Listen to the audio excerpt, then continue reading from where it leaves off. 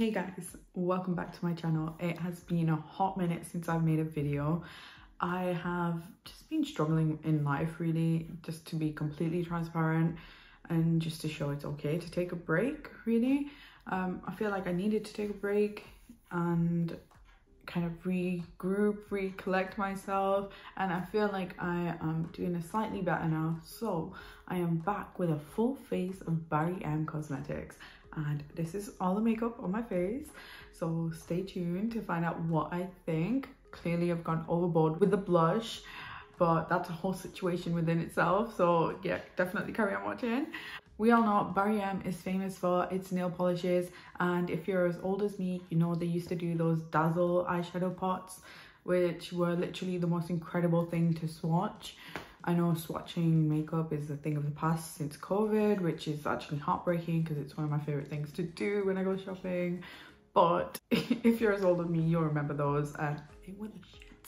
So let's see what a full face is all about enough of me chit-chatting. Let's get straight into the video. So i've got two primers right here. I have the unicorn primer drops beauty elixir and this looks like a huge dupe for the Versali one. And then i also have the flawless original primer which is like pore filling. So i'm gonna layer the primers. I'm gonna like hydrate my skin with this one. I just want to see if it's like pink and glittery too. She is pink She's not as sparkly, but she's definitely pink. This is definitely, I'd say, a little bit smaller than the Versali one. And obviously, it comes in like a cube packaging, whereas the Versali one is more rounded. First things first, we're gonna smell it. Okay, it does not smell like the Versali one. This one smells a little bit more like citrusy. Still smells fruity, still smells nice. Okay, the pipette is not the best thing in the world. It doesn't even really get that much product. Okay, dipping in for the thousandth time.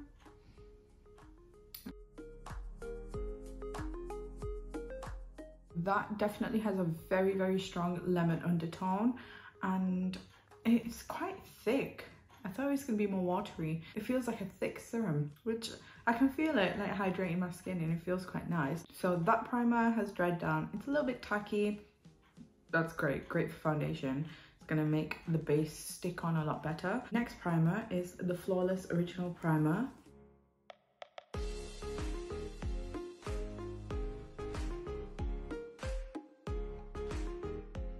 Okay, so that has been layered on top of the other primer and you know what? It sits really well. The two work really well together and this has definitely blurred my pores. It is very silicony I thought it would look more silicone like usually uh, the formulation is a little bit more puffy and it's usually translucent. It does feel a little bit slippery on the skin but we're gonna go in with the foundation and then see what the situation's really like. I've tanned and the more I tan the more my vitiligo becomes apparent so I feel I feel like in life I've been having a stressful minute and I can see my vitiligo basically spreading and this is the fastest it's spread since maybe like I was, I don't even know, like 10 years old. So it's like really hard to adjust. I've got like loads of like new spots on my cheek here, some on my forehead. And for me, it's like, it, it's really hard to accept. Even though I've accepted it, like when you see new areas of your skin go white, it's just, it's so, it's such a, it's a bitter, bitter pill to swallow. So yeah, I've been like wearing a lot more full coverage things recently Right, so for foundation, you know what, I, struggled to find a Barry M foundation. They had like the, the new kind of foundation which was more of like a BB cream. Then there's this one which is a really like old cult favorite. It's the all night long full coverage foundation and this is sold out pretty much everywhere and I'm not sure if it's going to be continued but they didn't really have every shade everywhere. Like I had to look everywhere to get my shade. So I got the shade Almond. This is what the foundation looks like. It does look a little bit pink for my liking, but we're just gonna gonna roll with it. Hopefully the concealer can like sort the tone out. Initially, that doesn't look like a bad match.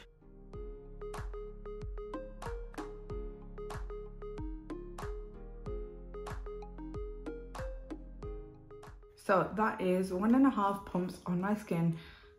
I'm not convinced that is full coverage. That is medium coverage. I can still see my vitiligo peeking out here on my forehead a little bit. The tone of this is a little bit like more peachy than I would like. It smells like cleaning product, which I don't know if you want to be putting that on your face, but it smells nice. So I'm gonna go in with more, maybe another pump and a half. Okay, so Working Moms came back on to Netflix. I love, love that show. Like I don't have any kids, but I feel like I can relate to their, you know, adult problems and I'm like, ugh, it's just so funny. It's, it literally makes me die in the best way possible. Okay, one thing I have to note is that even though I've done layered this up quite a lot, it's not gone thick, it's not gone cakey. I think the the finish of it is more of a like a satin finish. My face is actually a lot more orange than i would like it to be.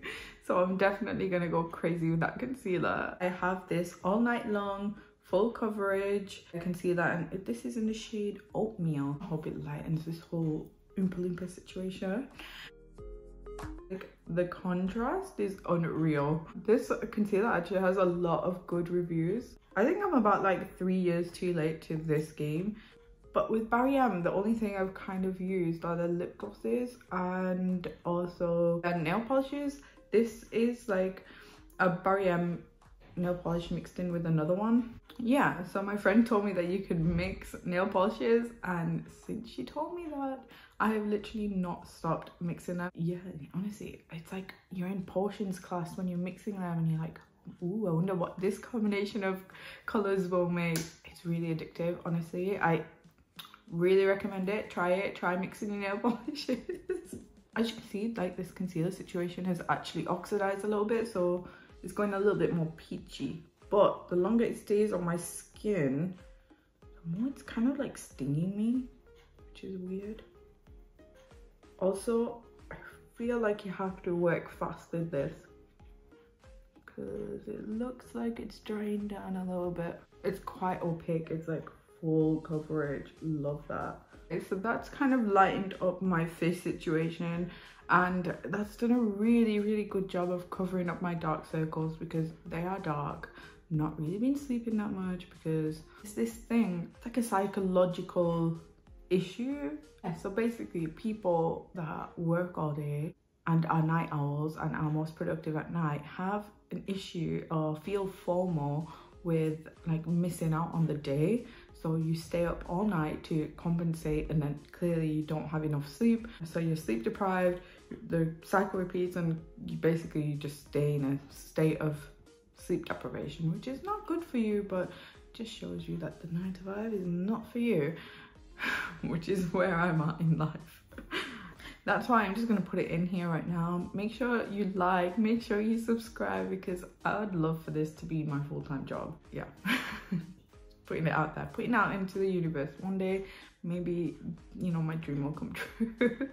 okay, so to set all of this, you know, liquid makeup, even though it's not creased that much, it's actually sitting on the skin quite nice. I've got this Ready Set Smooth. It's like a translucent powder. I have never used any of Barry M's powders or powder products so I'm just really intrigued. So it comes with a little puff. We're definitely using the puff. If I've learned anything this year it's that a puff will really change the way powder sits on your face. Like I prefer it to a brush, I prefer it to a sponge. Like this is like retro, old school and I can't believe like this is one of the best tools. Mm -mm. If it ain't broke, don't try and fix it. Even comes with a little mirror. Yes, Barry M. This was not even that expensive. Maybe like five or something. And it comes with a mirror. Like high-end products, more expensive products don't. So that's all I'm saying.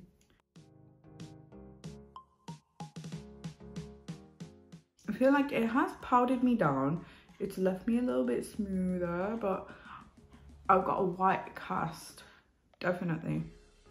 I don't know if that's going to go away when I spritz my face with setting spray, but I really have to note that I am not sure this is brown girl friendly. for bronzer, blush, eyeshadow, all of that good stuff, highlighter, I have got the Barry M multi-purpose palette and it's the Velvet palette. So you've got a bronzer, blush, highlighter situation right here. All of these shades look really nice. I think if you are like fair, light medium, medium skin tone, this will look really good on you. And then I've got like a kind of very smoky, kind of mauvey tones eyeshadow palette. So I'm really excited to kind of use this. There's no mirror in here, but you, it is like double-sided, so it's very travel friendly. First things first, we are going to bronze. So I'm just gonna go into the bronzer. Not too pigmented. It's definitely chiseling me. Yeah, I like that. I ain't mad at it.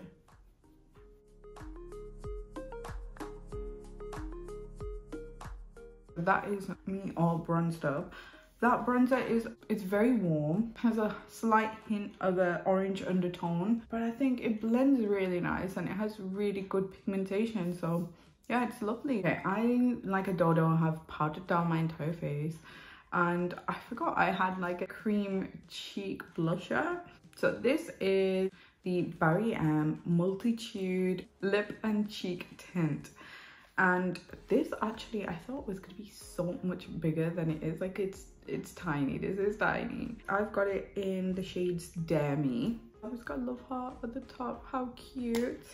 And you get like a little crayon, it's so cute. And then you unwind it here put it underneath just like we used to do when we were kids with those you know crayons. And you can kind of see like the different shades. Going in with the most vibrant of the colors.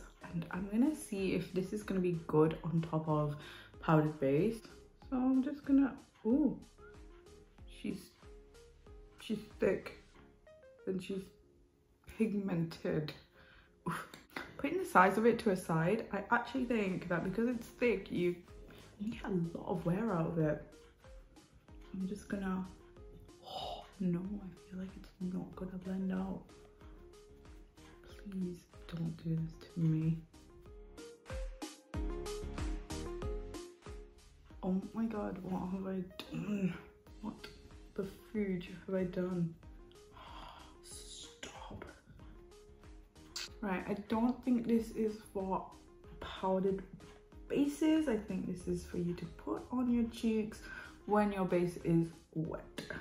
That has definitely disrupted the foundation. Okay, so that was a really, really bad idea. It looks blotchy. Uh, it doesn't really blend out on top of powdered bases. It's really like the force I had to go in with to kind of blend it out. It's disrupted the foundation and the rest of the base. So yeah no i would just not recommend that. This shade of blush is like a pinky rosy shade really different to the kind of neon pink i've just put on. I'm hoping that i can just kind of make this work. So here goes everything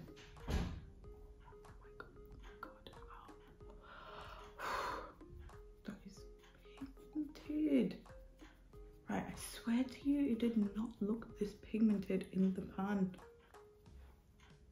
Oh oh oh my god. What is going on this side i can work with. The patchiness has kind of been blended away but this side oh my goodness it looks like i have sunburn like really really bad sunburn. So let's get some powder and try and just tone this down this is a nightmare. I did not see it going this way. I thought this was all going to work really well. I think this is more of a Aseema problem rather than the product problem. Right, that is the best I'm going to get it. It is literally the most blushy look of all time. Unintentional, but we are just going to carry on, persevere and hope for the best. Highlighter time. Now, the highlighter in this palette looks a little bit dark but we're just gonna roll with it so this is what it looks like it looks like a more of a deeper tone perfect for a medium skin tone not too sure about my skin tone but we're just gonna try it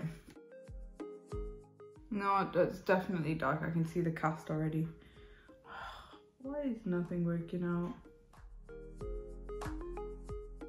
Okay, in terms of glow, it's actually really pretty, but I can see a cast. So I'm gonna mix it in with this eyeshadow shade called Silk, and just to maybe hopefully lighten it up. Yeah, that's making it work a lot better. Okay, can can you can you can you? that is a very very beautiful highlight. So I can vouch for this being a multi-purpose palette because you can use the eyeshadow as a highlighter. So this is the Barry M Flawless Mist and Fix Makeup Setting Spray. It's a dewy finish one and I'm hoping this is just going to do the most. So this is definitely, it's probably the most painful thing I've ever used. I used it once and I swear to God, I felt like my lips were burning. Barry M have lip plumpers. They're fantastic. They're really nice. They do what they say they're gonna do and they're pretty cheap. This one, right, I did not keep it on long enough because I really couldn't hack it. I, I like the tingling sensation, but this was a little, like, my lips were on fire. I felt like I was having an allergic reaction to something. So this is the That's XXXL Swell Extra Hot Extreme Lip Plumper and they say it has chili in it and I swear to God I believe it because your lips literally feel like they're on fire. So here goes everything. Wish me luck because this is pain. Right, so the tingling sensation has not begun yet, but I will let you know when it does got like a slight little tingling around here. For brows, I have two products here. I have the Take a Brow Brow Gel and I have the Dual Ended Brow Wand and this is in the shade Dark. Ooh, ooh, ooh, okay, I was not expecting that. One side, we've got a pencil. However, the other side, we have a gel. I was not expecting that. So I think we're gonna go in with the clear gel first and then we're gonna go in with the pencil and then the tinted brow gel. So the lips are definitely, definitely tingling right now. Yeah, they're tingling. It gets so much worse than this. So let's go into the brow gel. I'm really surprised at the size of this like brush. It's really tiny. I was expecting it to be a lot bigger, but maybe this is better. So we're just gonna, ooh, ooh, oh. That was really good. That was really, that, like, let me just show you how fast I can kind of make my brows fluffy. Alright, so when I like to do like soap brows, like fluffy brows, brushed up brows, whatever you want to call them, I like to keep them kind of natural looking around here because I feel like when they're too spiky, I look like a hedgehog and I just like to kind of bring them out on the sides like that's my feathered effect i feel like this is a really nice little brow gel love the brush oh my god my lips are tingling so much right now oh. they definitely look bigger definitely but I can feel it. I can really, really, really feel it. So I'm just gonna go in with a brow pencil fill them in like I usually do. So I'd like to do like a really defined line underneath. Makes them look really neat. And I've not done my brows in a, in a hot minute, so that's that. Oh my god, my lips. I think lip, actual like lip injections would be less um, painful than this lip, lip gloss. Like this lip gloss is so intense. Who approved this? gonna go in with the brow gel and just kind of fix them. My eyebrow hairs are pretty set from the other gel, so it is quite strong. Uh, I'm just adding a little tint to them right now. I really like these brow products. I think Barry M does really good brow products. My lips, on the other hand, are literally like, oh my god. It's like I rubbed a chili all over them. So next thing we're doing is eyeshadow. So these are the tones that we're gonna be playing around with and yeah, let's do something kind of mauvey, romantic, kind of smoky, kind of just something cute. This lip gloss kills like a B on CCH. But look at the size of them. Like, it works. It hurts, but it works. Beauty's pain, people. Beauty's pain. So I'm gonna go into this really nice mauvey pink shade called Plush. Yep. Pigment straight away. Okay, so that's actually blended up really, really, really nice. I'm gonna go into this deeper shade called Inviting, which is a really nice plummy shade.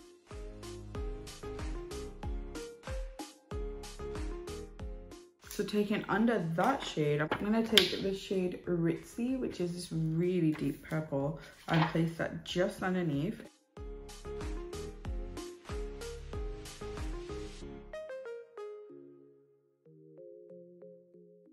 Okay, so we've got like a really smoky purple eye going right now. Right in the middle, I'm gonna go into this gold shade called Lavish. And then for the inner eye and brow bone, I'm gonna take this shade called Silk.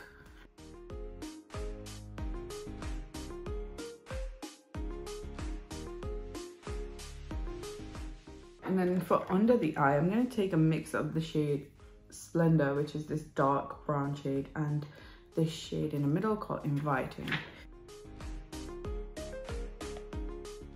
Okay, and that is the finished eye look. It's really smoky, it's mauvey, it's really easy to do. I have three different eyeliners to use.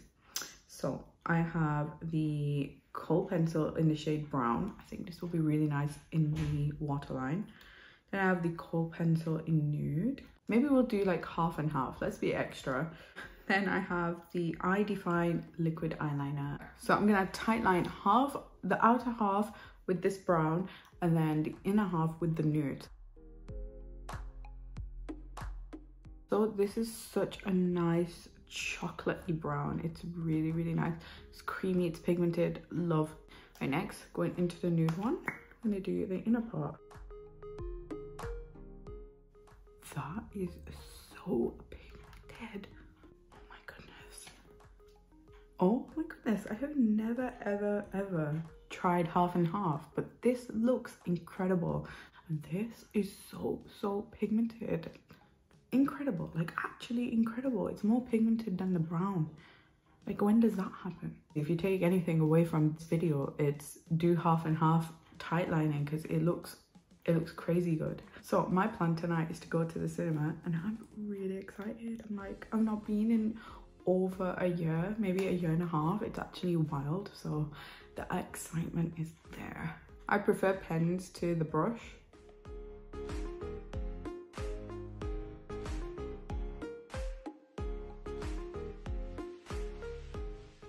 I finished off the eyeliner situation. It became more like a thicker eyeliner the more I messed up on this eye. You know how the deal goes. so now we're gonna do mascara. So here I have the Barry M feature length mascara. It's for it's a length mascara, which is really different for me because I usually opt for, you know, volume mascaras. This is what the brush looks like. Looks like it'll build the lash from the root which is always a good thing when you want to build wispy lashes okay so I've just been house hunting. I think we found a house. And yeah we're just gonna see where, where we go with that. I can't believe house hunting is so difficult. But I think our circumstances has made it difficult but yeah I think just finding your dream house is just the hardest thing ever because there's always just something wrong with it. Okay, so these are the lashes. They are a little bit clumpy, but I don't mind. And to be honest, it says length, but I feel like it's built me a little bit of volume as well. So this, I really like this mascara. And I just want to note that the packaging, it gives me great Gatsby vibes and it's heavy, so it feels quite luxurious. So in reference to this lip gloss, it stopped plumping. Okay, so these are the state of my lips. They have definitely, definitely be plumped. They actually look really good, but you do have to go through a quite a level of pain. But it basically it does what it says it's gonna do. Well, for lips, I have like 10,000 lip liners. I've heard Barry M lip liners are very good. And then I have the Barry M lipstick. This is the Velvet lipstick and I've got it in the shade Impulsive. So just look at how cool this lipstick is. Like, look at the design.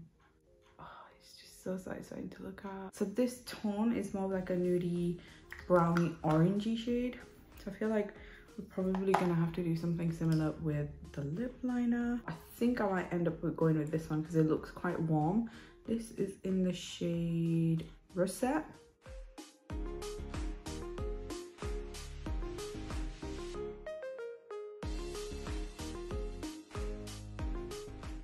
Okay, so that color is very, very warm. I have a problem, like every single time I do a look, it's always a cool toned and a warm toned look together and it's just a little bit confusing. I just want to note that that lip liner was glided on. It was smooth, it was pigmented and very, very creamy. Also very lightweight on the lips.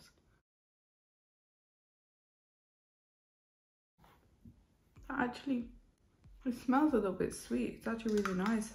That is definitely a velvet finish on the lips. Just literally lightly spritz the face. So guys, this is my finished look. This is a full face by Barry M Cosmetics and I'm actually really, really impressed with the makeup. There are definitely things that I probably wouldn't use again, but for the most part, I think this full face of makeup is actually really, really flattering and the products work really, really well together. So let's talk about the things that I loved and then the things that I didn't think were that good. Brow gel, fabulous. I think it's a really, really good product if you love like feathered brows, soap brows, that kind of thing. The concealer was really, really good, full coverage. Mascara was really good. Great if you want length and a little bit of volume. The eyeliners, like the pencil eyeliners, insane. Like go out, run out and get them because they are so good. And then we've got the lip liner, fantastic, beautiful colour.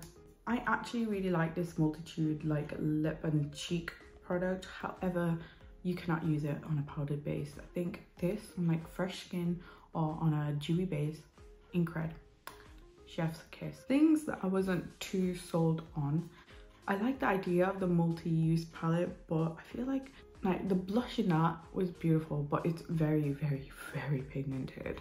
I feel like the highlighter was just a tad bit too dark so i'm not really sure who this palette is tailored to because i found the bronzer even though it does show up it's not done too much. So I'm, i'd say i'm like a medium skin tone right now. So i feel like the highlighter is aimed for deeper skin tone so like a medium tan.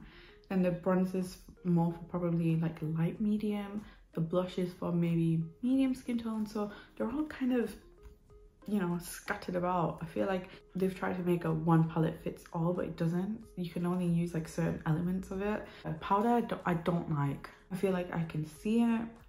I feel like it's giving me a little bit of a white cast.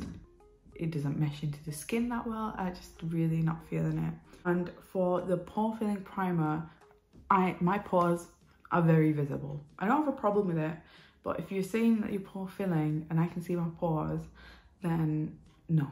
the foundation, I feel as though it's just not sitting on the skin as nicely as I would like. It was definitely not full coverage. So I had to use like three pumps to build up this level of coverage and I just feel like it looks thick and it looks a little bit like greasy on my skin which is just not what I like. Lip gloss, right. That is like look at the results. The results are really cute. My lips are plump and juicy right now, but that shit kills. It's gonna hurt.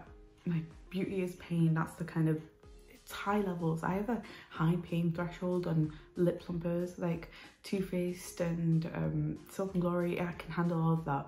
This is on a different level. I think it's a mixed bag overall, but generally I think these products are really good and the nail polishes are fabulous. So yeah, I think Barry M Cosmetics, they do do a good bunch of makeup and it's very, very affordable. So yeah, I hope you enjoyed this video. Make sure you like, make sure you subscribe, hit the notification bell, and I will see you on the next one.